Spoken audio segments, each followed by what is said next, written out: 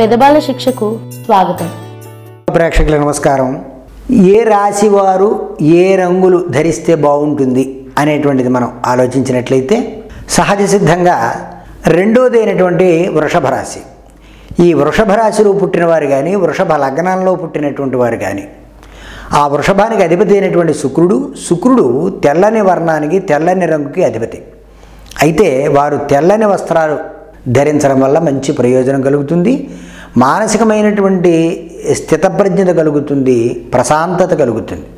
వారు అనుకున్న ఆలోచన నెరవేర్చుకునేటువంటి పరిస్థితి ఉంటుంది. అలా కాకుండా దానికి వ్యతిరిక్తమైనటువంటి సప్తమాధిపతి వ్యయాధిపతి అయినటువంటి కుజవర్ణము కలిగినటువంటి ఎర్రని తుప్పు వర్ణము కలిగినటువంటి కానీ దానిమ్మ గింజ వర్ణము కలిగినటువంటి బట్టలు కానీ ధరించడం వల్ల కొంత ఇబ్బంది కలిగేటువంటి పరిస్థితి అలాగే గోధుమ వర్ణం కలిగినటువంటివి పసుపు వర్ణము కలిగినటువంటి పసుపు రంగు కలిగిన బట్టలు కూడా ధరించడం వల్ల శుద్ధ వ్యతిరేకమైనటువంటి ఆలోచనలు రావడం తన మిత్రుల ద్వారా అంతవరకు పొందగలిగినటువంటి సహాయ సహకారాలు ఏవైతే ఉన్నాయో వాటి నుంచి దూరం అవ్వడం ఆ సహకారం అందలేకపోవడం మానసికమైనటువంటి అస్థిమితానికి గురయ్యేటువంటి పరిస్థితులు కూడా కనపడుతూ ఉంటాయి. కాబట్టి సాధ్యమైనంత వరకు ఈ వృషభ రాశి వారు తెల్లని వర్ణము కానీ నీలవర్ణము కానీ బూడిద వర్ణము కలిగినటువంటి బట్టలు కానీ ధరించడం వల్ల మంచి ప్రయోజనం కలుగుతుంది.